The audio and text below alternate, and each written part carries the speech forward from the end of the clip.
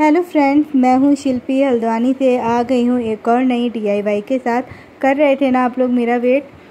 तो आज हम प्लास्टिक के कंटेनर के साथ कुछ करने वाले हैं। प्लास्टिक के कंटेनर का जो कैप होता है ना, उसको हम यूज़ करके एक बहुत सुंदर सा डीआईवाई बनाएँगे। तो जैसा मैंने आपको बताया था कि रसगुल्ले वाले कंटेनर का कैप रखा था, उससे पहले मैंने जो दो प्लांटर बनाए थे, उनका भी कैप रखा था। तो तीन कैप हो गए थे, इनके साथ हम कुछ एक्सपेरिमेंट करने वाले हैं। तो सबसे पहले मैं इसमें वाइट एक्रेलिक कलर से इसे कोट कर दूँगी। मैंने यहाँ पर प्राइमर यूज़ नहीं करा है क्योंकि प्राइमर थोड़ा सा हल्का होता है और मुझे जो इसमें प्रिंट है वो अच्छे से हाइड करना था। इसलिए मैंने वाइट एक्रेलिक कलर यूज़ करा आप जैसो भी यूज़ कर सकते हैं। अब इन तीनों को ही बारी बारी से हम कोट कर देंगे वाइट कलर से और सूखने के लिए रख देंगे।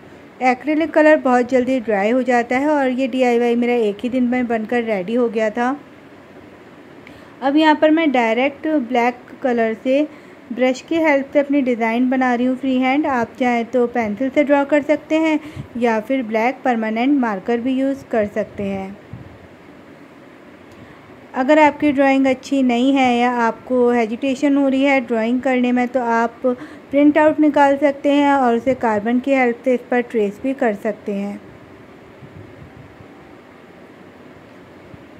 इस तरह से मैं एक कलरफुल सा डीआईवाई बना रही हूँ, जो हमारे घर में सुंदर लगेगा लगाने के बाद। आप इसे ड्राइंग रूम में लगा सकते हैं बालकनी में लगा सकते हैं या डोर के आ, सेंटर में हैंग कर सकते हैं किसी को गिफ्ट भी दे सकते हैं।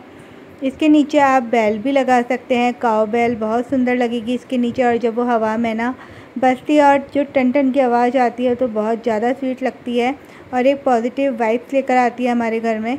तो फ़िलहाल मैं इसमें कोई बेल नहीं लगा रही हूँ। हम सिंपल सा एक हैंगिंग बनाएँगे। लेकिन आप इसमें अपने हिसाब से और अपने घर के हिसाब से चेंजेस कर सकते हैं। कलर अपने मनपसंद ले सकते हैं। मैंने यहाँ पर तीन वाइब्रेंट से कलर लिए हैं, जो कि बहुत ज़्यादा खूबसूरत लग रहे हैं। डिज़ाइन में भी आप कुछ भी बना सकते हैं। मैंने यहाँ पर ब्लू पॉटरी वाली डिज़ाइन ली है। ऐसी मैं सारी बारी बारी से जो कैप हैं इन सबको ब्लैक कलर से डिज़ाइन इसकी बना लूँगी। सारी ही डिज़ाइन मैंने ब्लू पॉटरी वाली ली है, लेकिन कलर किसी में भी ब्लू नहीं करा है। तो कलर के साथ हम एक्सपेरिमेंट करने वाले हैं, हम डिफ़र डिफ़र कलर करेंगे। अब आप इसमें साइड में मिरर वर्क कर सकते हैं या फिर कुछ लेस या गोटा लगा सकते हैं, वो सब बिल्कुल आपके ऊपर डिपेंड करता है। इस तरह से हमारी सारी डिज़ाइन बनकर रेडी हो रही हैं। कलर आप वाटर प्रूफ लेंगे, जैसे कि मैं अपनी हर वीडियो में बनाती हूँ बताती हूँ, क्योंकि बाद में हमारा जो डीआईवाई है, उसे फिर डैमेज होने का डर बिल्कुल ख़त्म हो जाता है और डीआईवाई बनने के बाद इसमें आप एक्रेलिक वार्निश भी करेंगे, जिससे जो हमारा पेंट है कलर है, वो सिक्योर हो जाए। अब तीनों ही पीस हमारे बनकर रेडी हो गए हैं। अब बारी है कलर की। तो कलर एक्रेलिक कलर मैं यूज़ कर रही हूँ कैमल के कलर हैं। क्रोम येलो यहाँ पर मैं कर रही हूँ। ज़्यादा पानी मिलाकर नहीं करेंगे, थोड़ा सा कलर को हम गाढ़ा ही रखेंगे।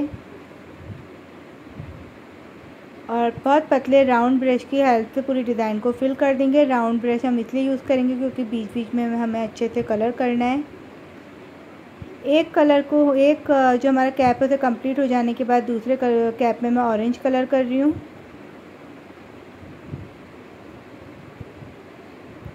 बनने के बाद कोई भी नहीं समझ पाएगा कि आपने कैप यूज़ करा है। येलो के साथ ऑरेंज कलर बहुत ज़्यादा सुंदर लग रहा है और थर्ड में मैं रेड कलर कर रही हूँ। इन तीनों ही कलर का कॉम्बिनेशन बहुत ज़्यादा सुंदर लग रहा था। ये देखिए, अब तीनों में कलर हो जाने के बाद जो हमने फ्लावर्स छोड़े हैं ना, उन्हें हम वाइट कलर से दोबारा से कर देंगे हाईलाइट क्योंकि इससे पहले हमने सिर्फ़ एक ही कोट करा था। अब ब्लैक कलर से हम फिनिशिंग देंगे फ्लावर के अंदर थोड़ी थोड़ी सी लाइनिंग बनाएँगे, जिससे और ज़्यादा अट्रैक्टिव लगने वाला है। आप मेरे चैनल पर नए हैं और मेरी वीडियो पहली बार देख रहे हैं तो बिना चैनल को सब्सक्राइब किए हुए नहीं जाइएगा। मुझे सपोर्ट कीजिएगा, मेरे चैनल को सपोर्ट कीजिएगा और मेरी यूट्यूब फैमिली को और बड़ा करते जाइएगा। मुझे बहुत अच्छा लगेगा और आपको भी कुछ ना कुछ नया सीखने को ज़रूर मिलेगा। और वीडियो में अगर आप मेरे चैनल में पहले से हैं, सब्सक्राइब किया हुआ है आपने तो वीडियो को लाइक कीजिएगा, शेयर कीजिएगा आगे और कमेंट ज़रूर कीजिएगा। सारे ही फ्लावर्स को हम ब्लैक कलर से हाईलाइट कर रहे हैं।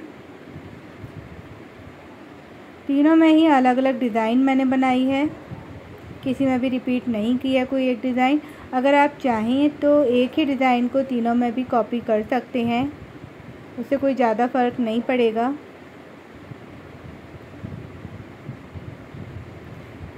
ब्लैक आउटलाइन करने के लिए ब्रश आपको बहुत पतला लेना है। आप डबल ज़ीरो, ट्रिपल ज़ीरो ले सकते हैं। और बहुत आराम आराम से, बहुत सफ़ाई से अगर आप ब्रश से कर रहे हैं तो ध्यान से करेंगे। क्योंकि मैंने भी बहुत आराम आराम से और बहुत धीरे धीरे इसको कंप्लीट किया है। जितनी जल्दी आपको वीडियो में दिख रहा है, उतनी जल्दी मैंने हाथ नहीं चलाया है। अब बाद में हम हैंगिंग बनाएँगे। आप चाहें तो यहाँ पर काओ बेल्ट लगा सकते हैं या कोई भी और बीट्स वगैरह लगा सकते हैं, लेकिन मैं यहाँ पर टसल बना रही हूँ उनसे। येलो के लिए हम येलो बना रहे हैं रेड के लिए रेड बना रहे हैं और ऑरेंज के लिए ऑरेंज बना रहे हैं। अच्छे से इसे नॉट लगा देंगे जिससे खुले ना।